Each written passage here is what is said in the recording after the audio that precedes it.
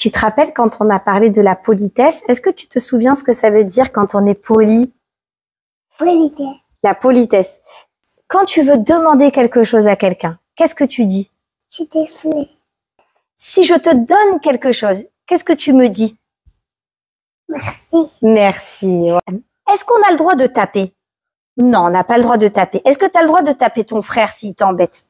Qu'est-ce que tu fais si ton frère il t'embête? Maman et papa. Tu dis à maman et papa, bravo. Et si à l'école, il y a un copain qui, qui t'embête, est-ce que tu as le droit de le frapper? Non.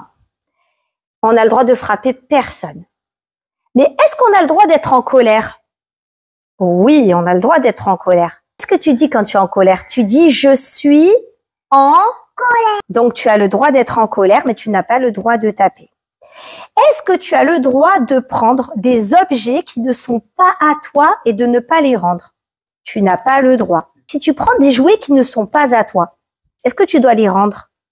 Tu dois les rendre. Tu dois pas les garder. D'accord? Je suis fière de toi. Tu vas pouvoir aller te coucher.